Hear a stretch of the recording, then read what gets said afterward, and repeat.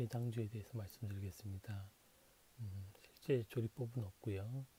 어, 문헌상에만 나와 있는데요. 다산 시문집 담원서 두 곳에 나와 있습니다. 정의학용 19세기고요.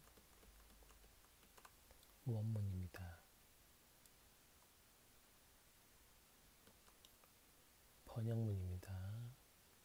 이후 고기 끓인 죽에 개당주를 가지고서 쳐와노니 오늘날 장군의 축수 안에 꽥꽥 소리 70일을 계속해서 토하다가 선방 한번 마셔보고 신이 준 줄 알았네.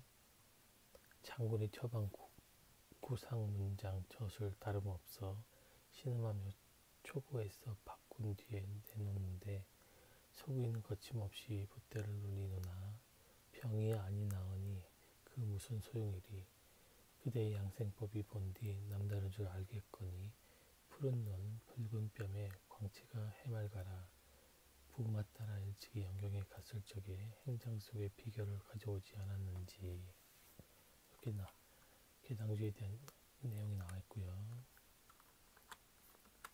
담원서 홍대용 18세기 원문입니다.